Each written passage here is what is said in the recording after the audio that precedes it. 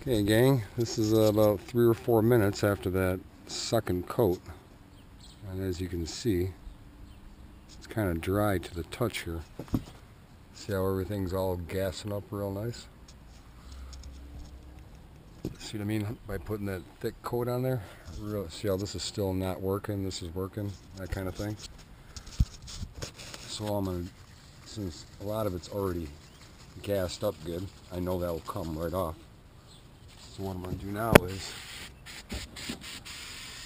I'm gonna spray those, uh, spray the stubborn, the stubborn areas. You can shoot right over the blisters. You don't have to put too much of that on there, on the blister part, because it's already gonna come right off.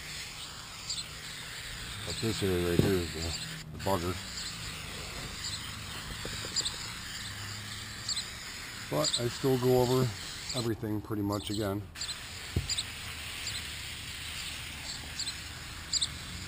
Don't breathe it. Nasty.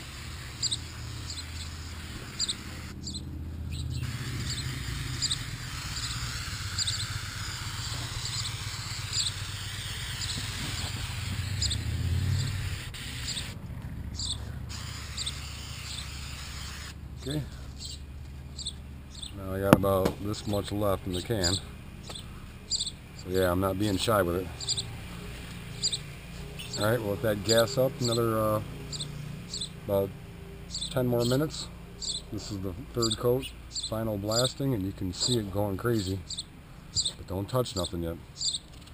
And then we'll start pulling it off in about 15 minutes, 10, 15 minutes from now.